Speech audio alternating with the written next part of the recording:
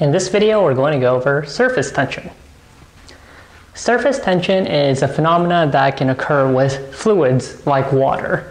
The reason why surface tension occurs is because these fluids have strong intermolecular forces. So the interaction between the fluid molecules is stronger than the interactions between the fluid and the air molecules.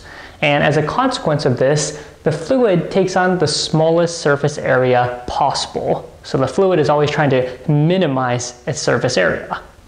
Now, with this definition, we can also define surface tension quantitatively then as how much energy do you need to increase the surface area of a fluid.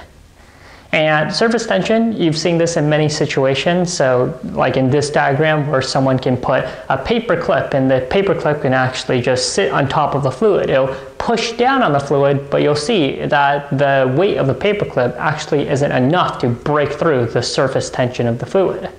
And another very common example is water striders. Water striders are also able to walk on water because the strong surface tension of water.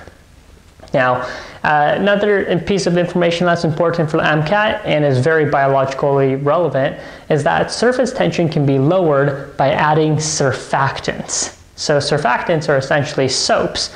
And a biological example of surfactants is the lungs. So within our alveoli, we have type 2 alveolar cells that produce surfactants. The surfactants are important for reducing the surface tension in the alveoli, and this prevents alveoli from collapsing.